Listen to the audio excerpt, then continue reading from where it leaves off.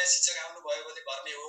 अथवा चाहिँ कोही शिक्षकहरू त्यहाँबाट जानुभयो सरुवा हुनुभयो अवकाश हुनुभयो भने मात्रै हामीले भन्ने हो। तब यो एकपटक भरेपछि सदालाई हुन्छ।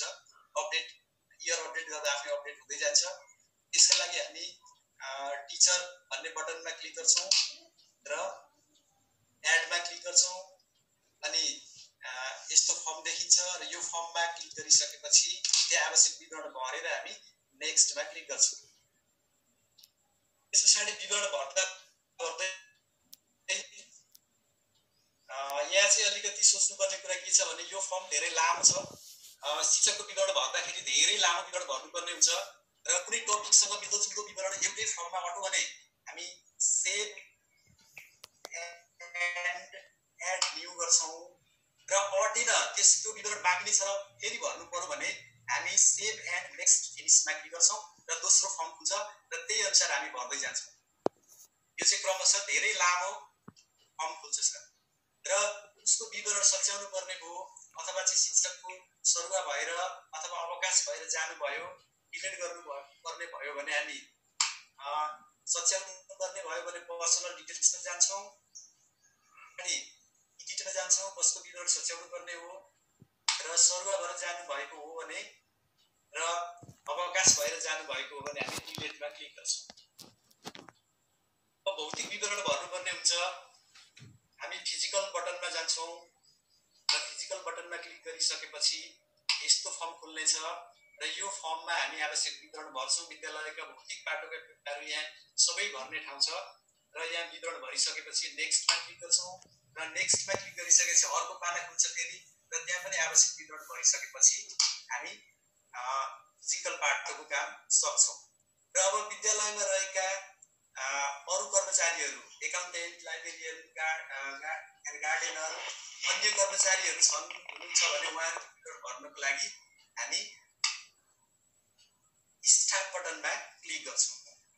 र त्यस पछाडि उहाँहरूको विवरण भर्ने यस्तो फर्म आउँछ र आवश्यक विवरण भरेर हामी सेभ गर्छौँ।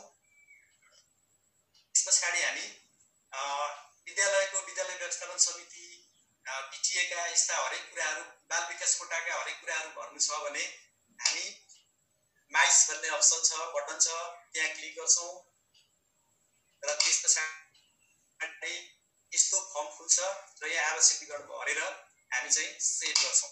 यो फर्मलाई सेभ गर्छौँ। अब रिपोर्ट हेर्नुपर्ने हुन्छ हामीले अगाडि गरेका कामहरू रिपोर्ट हेर्नको लागि रिपोर्टमा क्लिक गर्ने रिपोर्ट बटन क्लिक गरिसकेपछि यहाँ धेरै अप्सन आउँछ। जस्तो अहिले मैले क्लास नाइनको विद्यार्थीको मार्कसिट हेर्नका लागि के गर्ने भनेर एउटा तरिका राखेको छु। र रिपोर्ट हेर्ने सबै तरिका यही हो।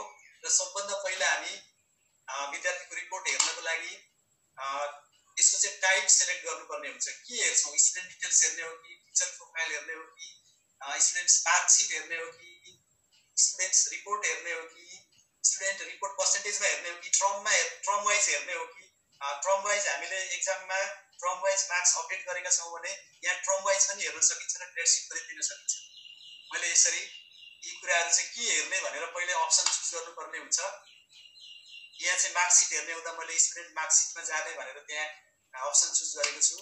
त्यस पछाडि साल इयर चुज गर्ने अनि कति क्लासको हेर्ने? यहाँ नाइनको भनेको हुँदा नाइनमा नाइन क्लासलाई सेलेक्ट गर्ने। त्यस पछाडि हामीले मार्कसिट हेर्नलाई यहाँनिर अप्सन राखिदिएको छ एक्सलले। त्यो अप्सन यदि विद्यार्थीको नम्बरमा मात्रै हेर्ने हो भने हामीले यो नम्बरमा टिक गर्ने ग्रेडमा हेर्ने टिक गर्ने र दुवैमा हेर्ने हो क्लिक गरेर टिक लगाएर जेनेरेट गरिदिउँ भने हामीलाई चाहिँ मार्कसिट देखाउँछ। विद्यार्थीको मार्कसिट आउँछ।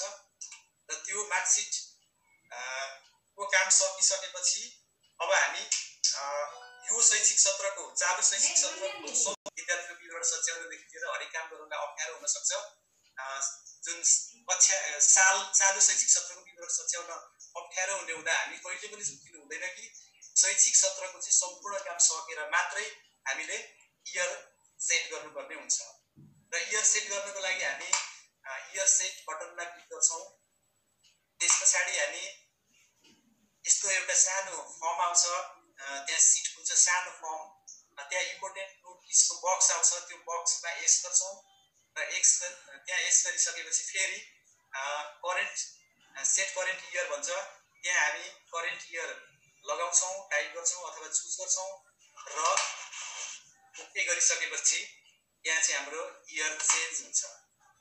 र यसरी चेन्ज भइसकेपछि हामीले इयर पनि चेन्ज गऱ्यौँ र एक सालको काम पनि हामीले सक्यौँ सर। र त्यो सकिसके